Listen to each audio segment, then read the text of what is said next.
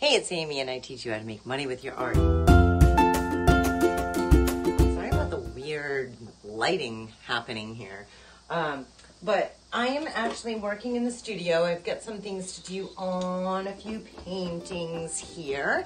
So I'm going to be wire backing this. Sometimes I will wire back a bunch of pieces um, at once, but this one is not wire backed and needs to be. I usually wire back, varnish, so it's like ready to hang when they get it, ready to hang.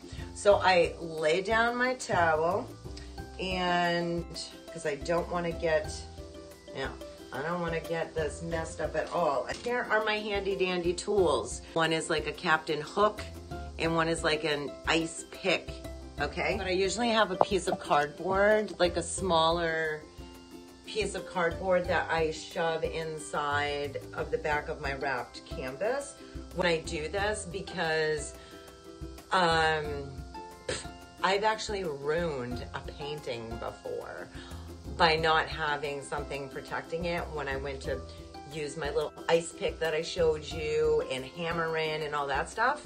Um, I had my little ice pick go right through the canvas.